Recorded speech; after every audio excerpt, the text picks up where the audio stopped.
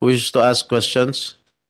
Ah, Congressman, uh, as usual, Marcoleta.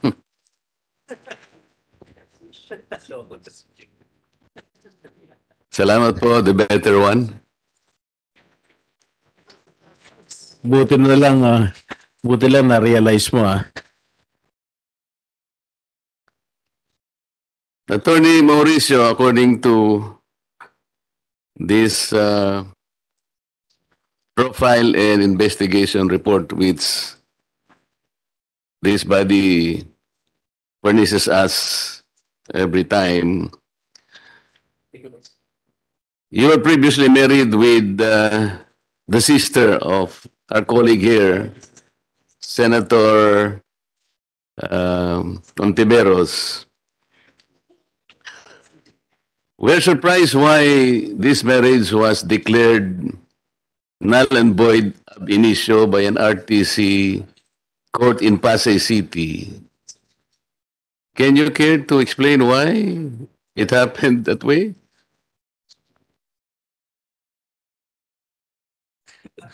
Uh, Your Honor, I uh, I have full respect to my former wife, and uh,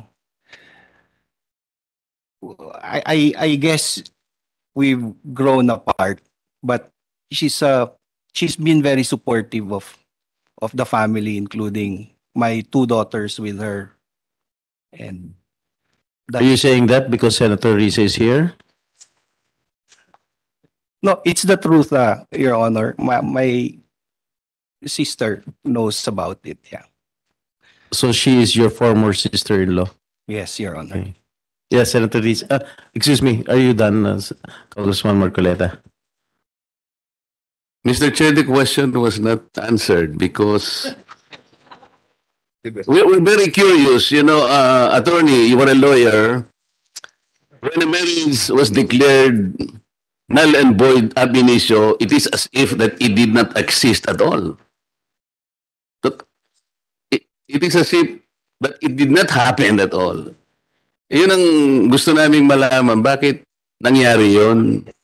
You were you, you you were supposed to be conscious at the time you were hurting your previous wife. And you were, as a lawyer, you were conscious of your legal uh, accountabilities, the legal requirements of a marriage. So, paano nangyari yun?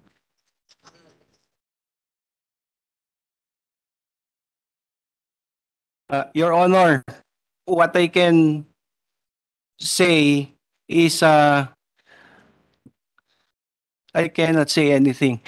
it's a it's a tough question, Your Honor. But she's been very supportive, and the relationship with the families has been Mis- there. Mr. Chair, you know, we're not about to open up wounds or whatever, but this is, this proceeding happens to be one of, uh, that would go into the fitness and merit of an occupant of a public office. We are, as, as an appointee of an important office, you are chief of mission two of the Department of Foreign Affairs. And as a lawyer yourself, we, we cannot imagine how a marriage can be declared null and void ab initio without any explanation. Mr. Chair, Maybe you can, maybe you want to disabuse our minds, sir. Mr. Chair. Uh, before that, uh, Dep- uh, Majority Floor Leader. Yeah, ano lang, we're not prying into the private life of the nominee, Mr. Chair. I think the CA's mandate is integrity, fitness. Uh, we just want an honest answer. And uh, just answer it directly, uh, Mr. Chair, is our, uh, ano, is our, uh, what is uh, being asked by uh, Congressman Marcoleta. Please proceed, uh, Attorney Mauricio. Uh, Your Honor, there are two types of uh, resolution by the court with respect to declaration of uh, nullity, void, ab initio. Under Article 36 of the family code, the legal effects of the marriage that has been voided ab initio by the courts recognizes the subsist the the legal effects or rights of the children during the subsistence of the marriage before it was voided. That was the status of my the the declaration of nullity on my case, Your Honor. So my the legitimacy the legitimacy of my two daughters with my former wife, they're still it's still there, it's still intact. The all I can say is uh it's it's probably the the disappearance or the deterioration of love on on one or both of the parties and uh, it's it's something that's difficult to Mhm. quantify if it's not there because two parties have grown apart then uh, it's beyond it's beyond my power Mr. Chair, Majority Floor Leader. For the record, to enlighten the body, siguro just cite na the basis of the decision. What is the basis of the decision of the court? Ah, as far as uh, to summarize it, Your Honor, I admitted psychological incapacity Yeah, on that- my that's what we were part. trying to ano because most of the declaration of ab initio or separation is basically either of the party declares mental or emotional or psychological uh, defects. Isn't that true? As a lawyer, di ba? That's I true. think 99.9% of uh, annulment cases is either of the parties uh, declare uh, psychological, mental, emotional uh, uh, defects on either one. Uh, di ba po? Correct, Your Honor. So I- that is the basis. Yes. And when you said psychological, uh, who declared a psychological uh, uh, incapacity? You or your wife or your former wife? The, the court declared it was uh, both of us, but I admitted in the petition that I was psychologically incapacitated. incapacitated. I think that's the point of Congressman Marcoleta. No, Uh, would there be an issue? Wa- Was your psychological incapacity or pro- problem before still existent now? No, no, Your Honor. Doesn't exist anymore. The the resolution was issued in 2006 and I've been promoted several times in the Department of Foreign Affairs uh, without any issue on my competence or psychological state of mind. In fact, one of the required things for me to be invited here is my psychological fitness as attested by by a licensed psychologist, Your Honor. Yung psychological uh, incapacity or defect at pointed at that time, was it uh, emotional in terms of you controlling your temper or handling stress? Because your job will require a lot of stress, Mis- uh, Mr. Chair.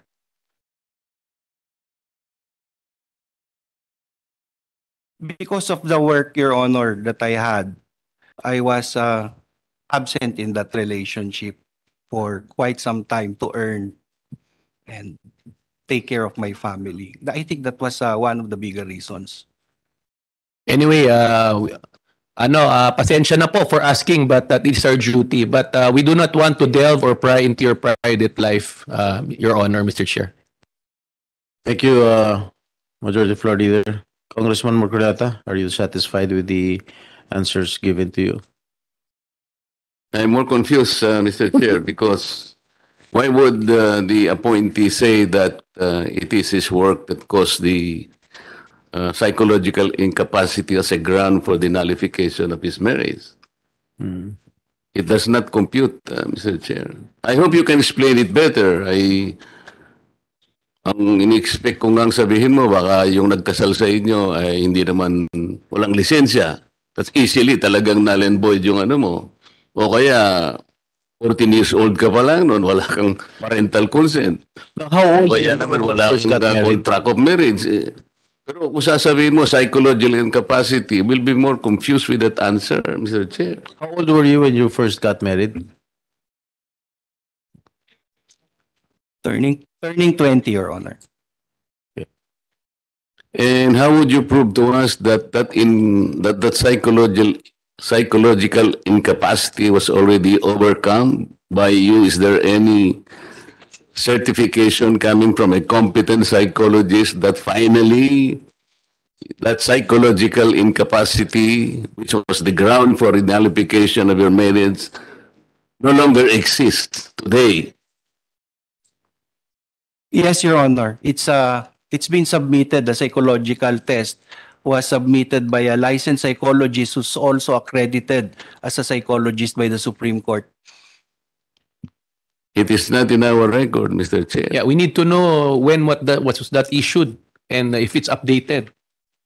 Yes, so- Your Honor. I will I will resubmit another copy of that report, Your Honor. Can I just interject, uh, Congressman Marcoleta? Uh, you mentioned to me earlier that uh, you first got married at the age of 20. Am I correct? Yes, Your Honor, based on And how I uh, the court 19 declared your mar- marriage null and void ab initio because you were psychologically incapacitated. Am I correct?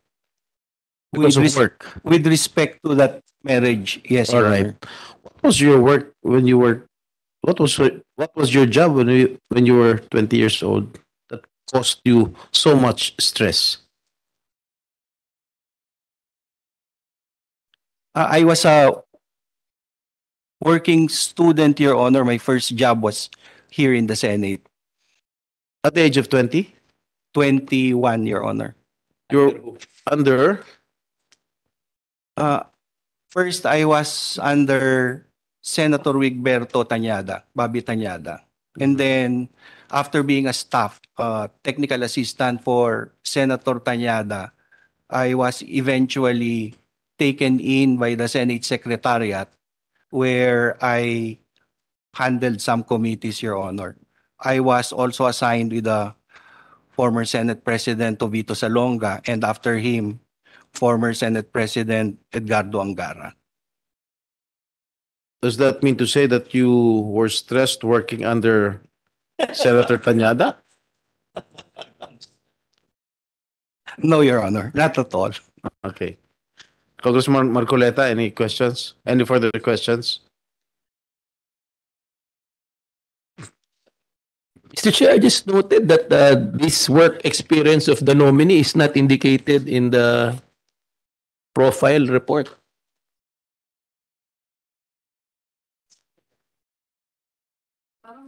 It's not here, Mr. Chair.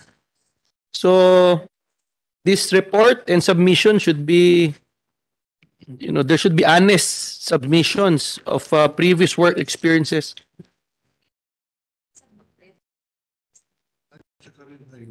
Wala.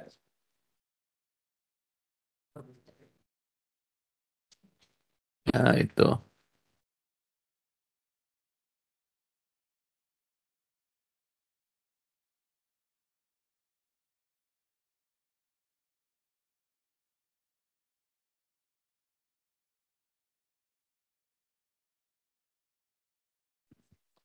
Nandito pala, uh, under number three, career highlights. Apologize, on page five.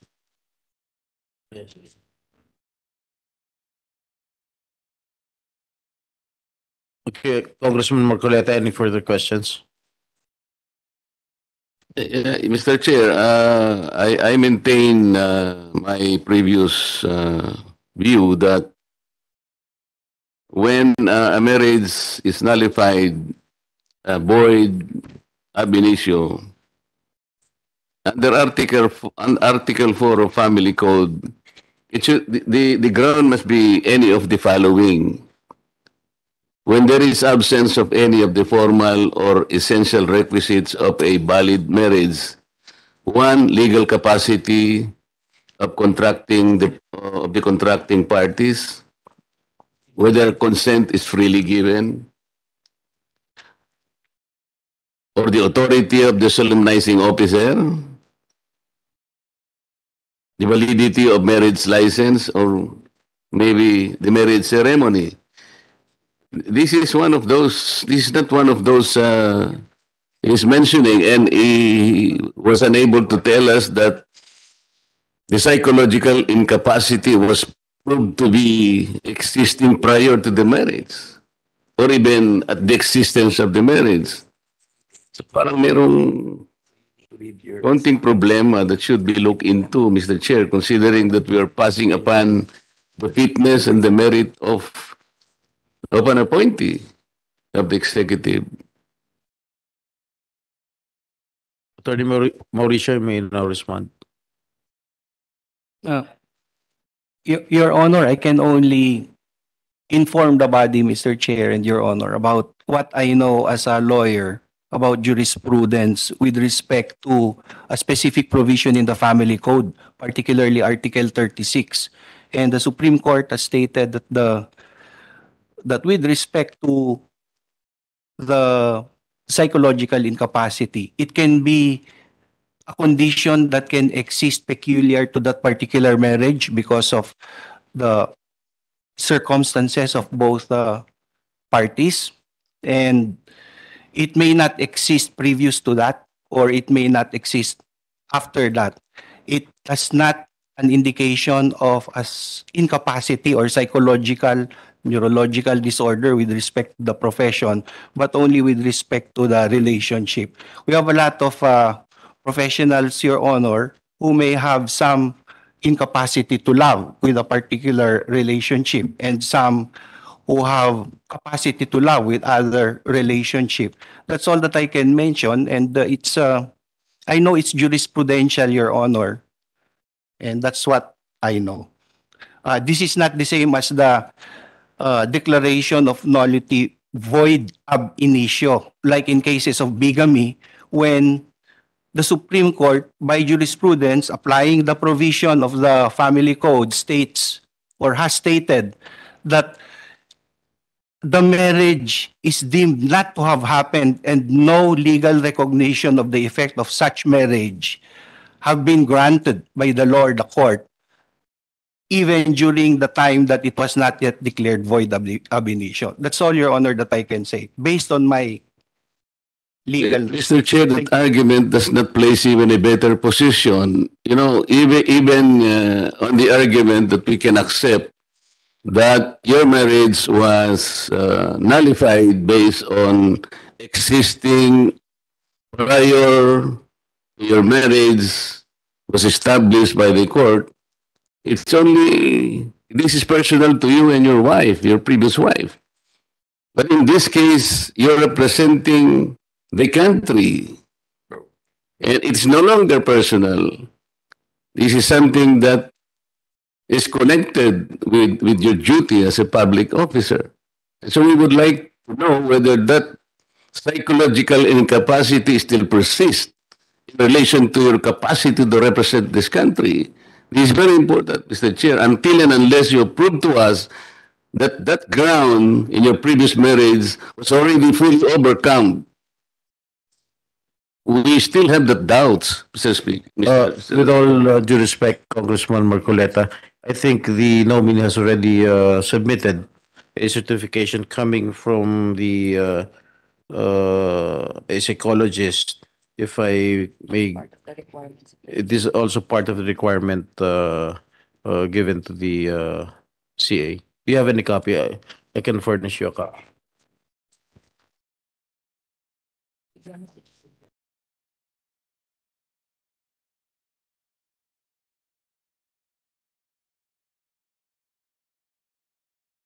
Uh, Maybe while browsing on the uh, document, uh, can I recognize uh, Senator Risa? You want to, to propound some questions? Salamat po, Mr. Chair.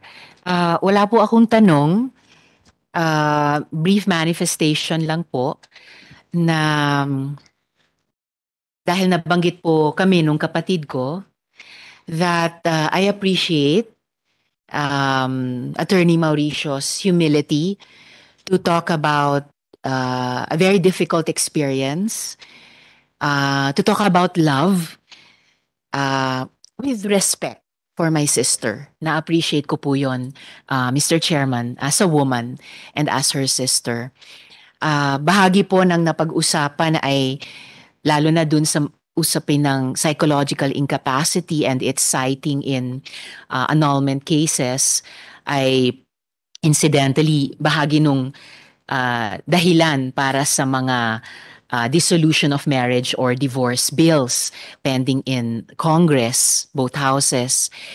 And uh, last but not the least, sa kabila ng lahat na nang nangyari, uh, and also because of that uh, respect na, na nakikita kong namamagitan pa rin sa kabila ng lahat sa pagitan ng aking kapatid at attorney uh, Mauricio, bagamat tama yung sinabi ni Chair na former sister-in-law na lang ako, but I still do consider attorney Mauricio in spirit at least as my brother-in-law. Salamat po, Mr. Thank Chair. you. Ma- mabait po siyang brother-in-law sa inyo.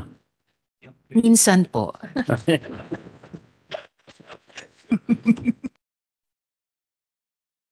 At uh, Congressman Marcoleta?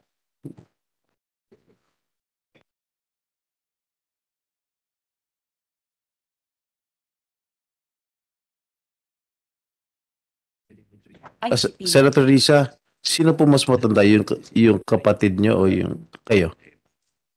Mr. Chair, ako ba yung ano, dinidinig? Siyempre, bilang ate, kailangan ko sabihin yung kapatid ko. ah, okay.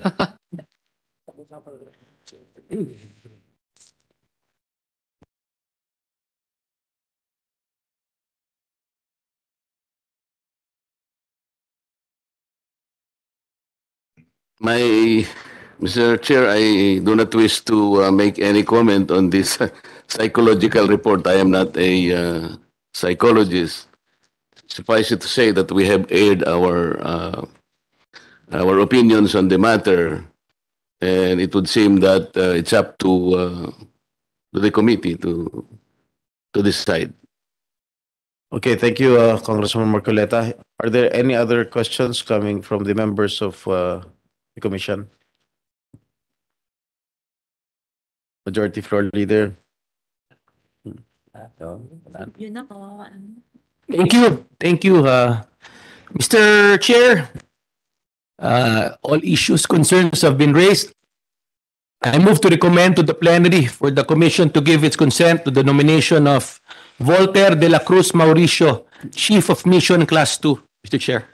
There is a motion uh, to recommend to the plenary for the commission to give its consent to the nomination of Voltaire de la Cruz Mauricio, Chief of Mission Class 2. Is there any objection? I second the motion, Mr. Chair. And seconded by Senator Risa Hontiveros. Any objection? There being none, the same is hereby approved. Congratulations. Mr. Chair, I move to recommend to the plenary for the commission to give its consent to the nomination of Mr. Val, ah, sorry, iba na pala to. Tangay. okay. Mamadali ka. I apologize.